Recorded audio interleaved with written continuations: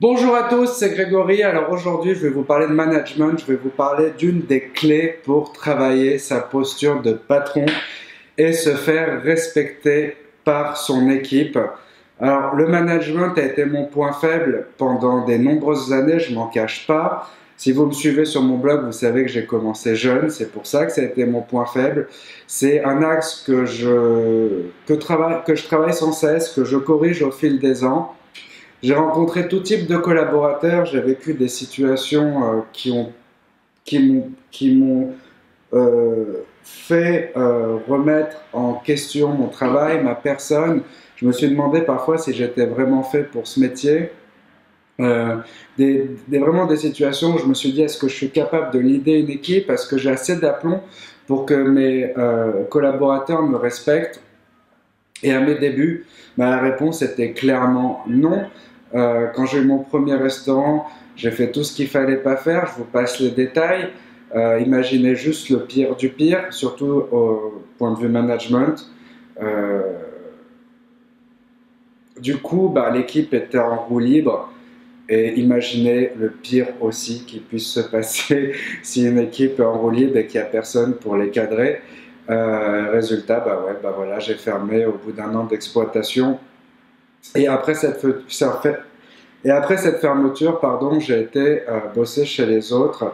J'ai fait euh, beaucoup de maisons différentes, de, styles de restauration euh, différents, avec des patrons complètement différents, avec des styles de management différents, des managers différents, etc. Et ça m'a, j'ai énormément appris, ça m'a ouvert les yeux. En fait, le terrain est la meilleure des écoles, c'est bien connu. Et comme je vous le disais, j'ai rencontré des patrons et des managers extraordinaires. Et la première clé, en fait, que, qui m'ont transmise, euh, que j'ai saisie au vol, est vraiment toute bête, c'est de montrer l'exemple. Un patron de restaurant ou un manager qui montre l'exemple donne envie naturellement à son équipe de donner le meilleur d'eux-mêmes et de se dépasser. Voilà. Donc, c'est vraiment au patron euh, de créer la cohésion et la dynamique de groupe, puisqu'en fait, il est le leader du restaurant. Et pour moi, euh, les patrons que j'ai pu euh, admirer le plus sont des personnes qui ne parlaient pas beaucoup, mais qui agissaient. Et j'en ai déduit que montrer l'exemple, c'est transmettre ses valeurs, non pas par la parole, mais par les actes, et surtout donner un sens à l'action. C'est vrai, c'est important d'être ponctuel le matin, mais il y a bien une raison. Euh, si, si euh, même si on est patron de restaurant, on a le droit d'arriver à l'heure qu'on veut. Mais c'est important, par exemple, la ponctualité, c'est vraiment un des axes les plus importants pour amorcer le respect de son équipe. Et puis ça va bien plus loin que ça. En fait, il n'y a pas de honte à, se remonter les manches. Il n'y a pas de honte à faire une mise en place quand on est patron. Il n'y a pas de honte à faire du nettoyage. Bien au contraire, vraiment le fait de se remonter les manches, comme je disais, renforce naturellement une, exemplarité de leader et surtout euh, va stimuler l'autonomie de ses collaborateurs. La dernière fois, je voyais mon associé Étienne. Euh, qui, on a fait des travaux au restaurant, je vous montrerai, on a installé un rôtissoir et donc on a mis du carrelage métro sur tout le, sur tout le bar et on a quand même ouvert. Donc les ouvriers arrivaient le matin, ils faisaient leurs travaux et boum, on nettoyait juste avant le service pour accueillir les premiers clients parce qu'on voulait pas fermer, on voulait pas perdre du chiffre d'affaires. Et je voyais euh, certains collaborateurs qui étaient en train, il y avait, il y avait du, du, du par terre, enfin de, de la poussière, comme on a une résine noire, ça se voyait. Et voilà, ils marchaient dessus, ils avaient déjà passé la serpillière, donc ils n'allaient pas la passer une deuxième fois. Et j'ai vu Étienne donc euh, s'agenouiller par terre, alors qu'il a beaucoup de restaurants, que ça fait longtemps qu'il est dans le métier, que ça fait voilà, et, et, qu'il n'est pas, c'est pas son, boulot de, faire du nettoyage, prendre des lithos et commencer à nettoyer à la main tout le sol. Et les autres, en fait, sont, on regardait ça, la, la, salle a regardé ça, et tout de suite, il sûr, il n'aura pas dit de le faire. C'est lui qui m'a donné l'idée de cette vidéo. Il l'a fait, il l'a fait devant eux et tout le monde a suivi. Voilà, et, euh, ça, c'était vraiment un, très bon exemple.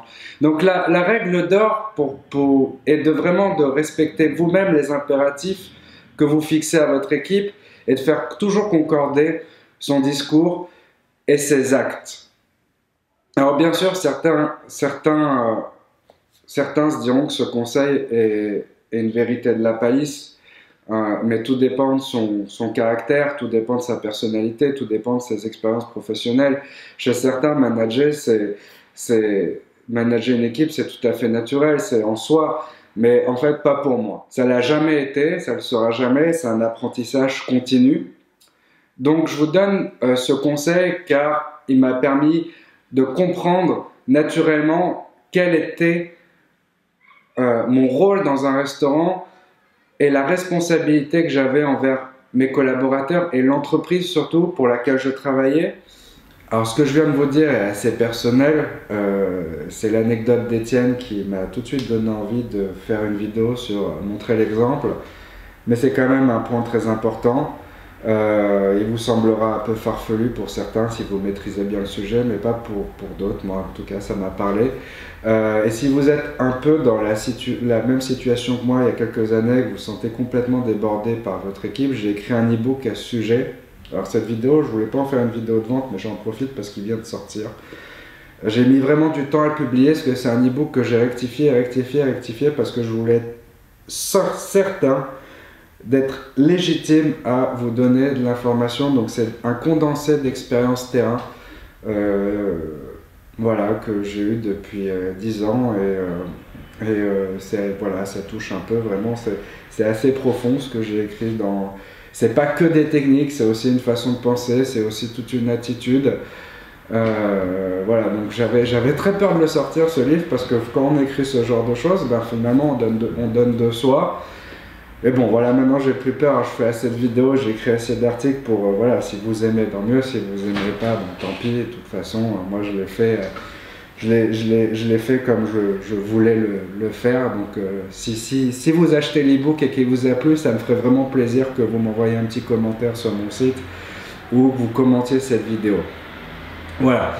Euh, donc j'espère que cette vidéo vous a plu, que si vous voulez continuer à bavarder avec moi, bah, allez-y, hein, commentez sur YouTube ou sur Facebook, ou sinon venez euh, me rejoindre sur Génération Restaurateur, qui est mon groupe d'entraide sur Facebook. On est de plus en plus nombreux, il n'y a que des restaurateurs, il n'y a aucun prestataire, aucune start-up, etc.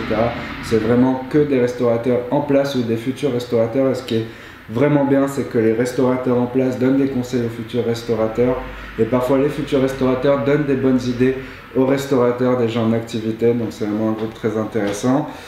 Et voilà, et puis il me reste plus qu'à vous dire à très vite sur restaurateur, restaurateur.com. Ciao